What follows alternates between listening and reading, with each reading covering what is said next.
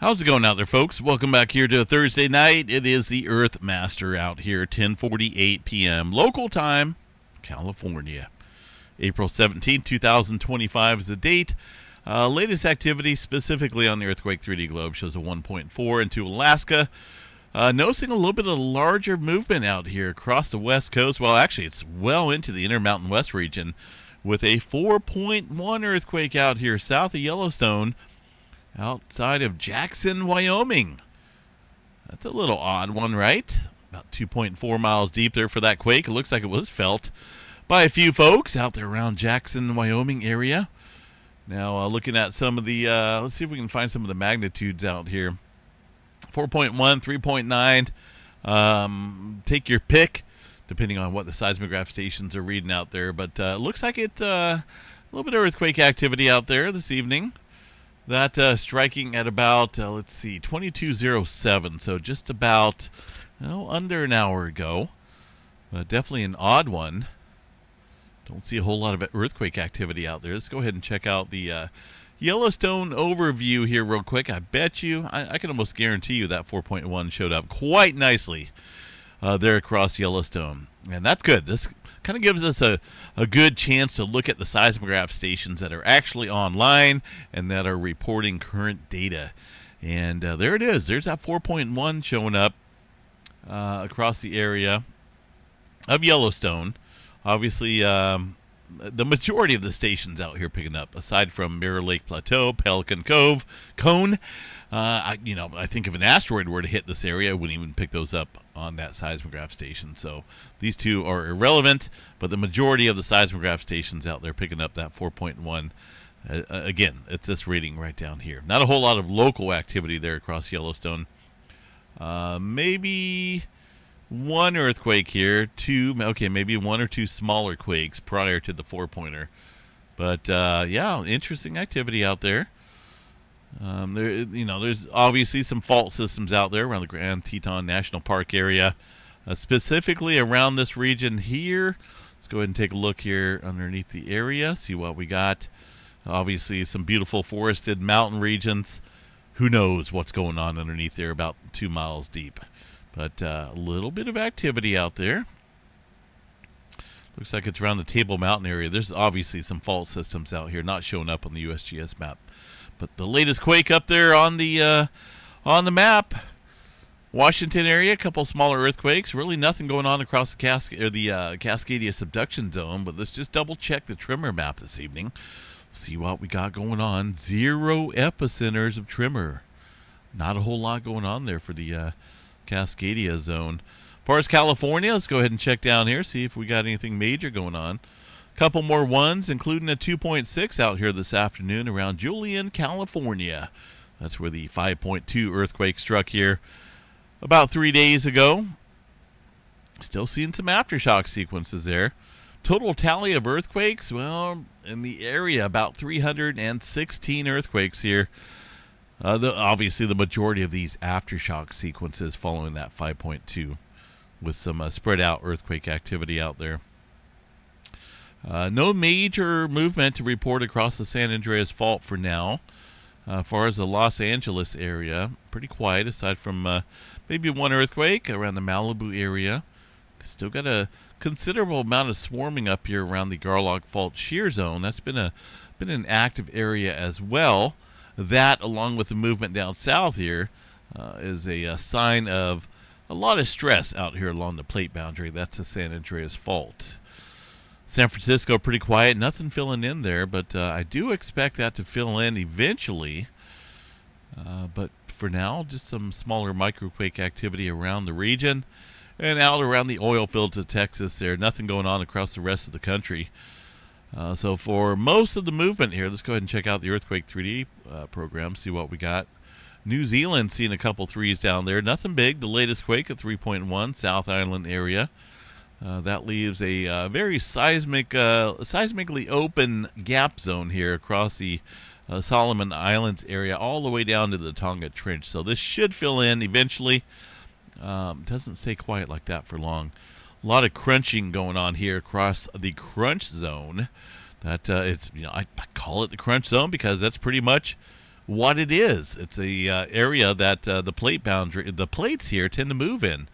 You got the Australia plate, the Eurasia plate, the Pacific plate, all uh, colliding out here, and that's uh, you know that's where you get a lot of subduction, colliding, and earthquake activity. So obviously, very common movement out here, as far as threes, fours, and even some fives out there today across that area. Nothing big, but uh, man, is that noticeable out there. Japan area pretty quiet aside from a 3.7 southern end of the Nankai Trough. Watching this area pretty closely there, southern coast of Japan. That's uh, got some potential there for it. You know, if you, if you look at the map here on the USGS map here, pretty quiet across the western area of the Pacific Plate. So, uh, in, in, that sense, we got to watch areas back east here. Normally, when things go quiet out across the Western Pacific, things really ramp up here across the Eastern Pacific. So we'll watch out throughout the evening. Uh, a couple twos and whatnot across Australia. Or, uh, whoa, when did Australia move up north? That's Alaska way up there.